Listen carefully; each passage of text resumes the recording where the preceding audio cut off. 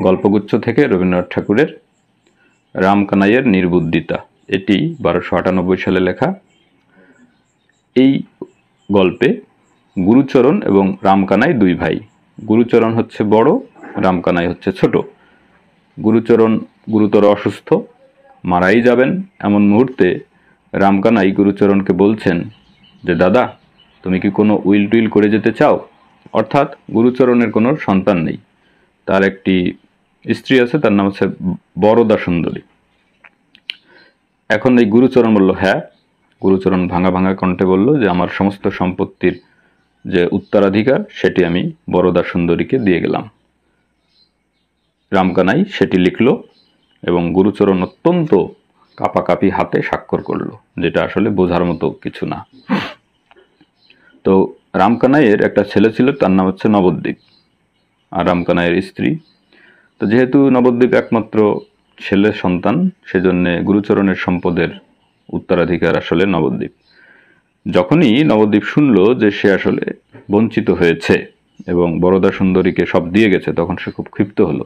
রামকানাইয়ের স্ত্রী, সে কিন্তু নবদ্বীপকে চাকরি করায় নাই, তাকে বিবাহ দিয়েছে কম বয়সে, কারণ সমস্ত সম্পদের মালিক তো সে হবে, চাকরি করার প্রয়োজন নেই।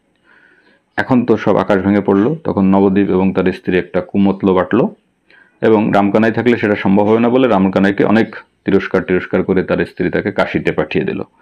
এই সুযোগে নবদ্বীপ তার বন্ধুবান্ধব মিলে এবং তার মাকে নিয়ে একটা জাল উইল করল এবং সেখানে স্বাক্ষরটা গুরুচরণের আগের স্বাক্ষরের মতোই করে সেটি নিয়ে মামলা শুরু হলো। সেখানে বরদা সুন্দরী এক পক্ষ, নবদ্বীপ এক পক্ষ।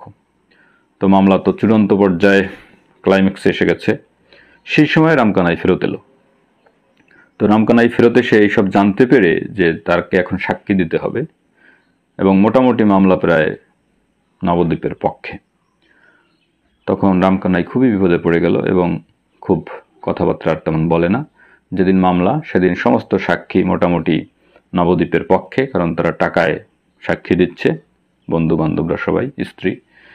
রামকানাই যখন উঠল কাঠগড়ায়, তখন রামকানাই বলল যে, যখন তার দাদা মারা যায়, তখন আমি নিজে হাতে উইলটি লিখেছিলাম এবং আমার দাদা গুরুচরণ সমস্ত সম্পত্তি তার স্ত্রী বরদা সুন্দরীকে দিয়ে গিয়েছিলেন আর নবদ্বীপের এই সব সমস্ত কিছু সাজানো।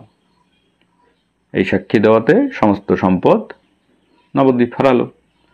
রামকানাই খুবই বাড়ি এসে অসুস্থ হলো এবং একটা পর্যায়ে মারাই গেল। এই হচ্ছে রামকানাইয়ের নির্বুদ্ধিতা ছোট গল্প টি রবীন্দ্রনাথ ঠাকুরের। ভালো থাকুন সকলে, সুস্থ থাকুন। সমস্ত গল্প। রবীন্দ্রনাথ ঠাকুরের গল্পগুচ্ছের সমস্ত গল্প আমি আমার চ্যানেলে দিচ্ছি। সাবস্ক্রাইব করে রাখতে পারেন। ভালো লাগলে কমেন্টস, লাইক, শেয়ার করতে পারেন। এবং সেই সঙ্গে অনেক অনেক বই নিয়ে আমি আমার এই চ্যানেলে আলোচনা করছি বা করি প্রতিনিয়ত।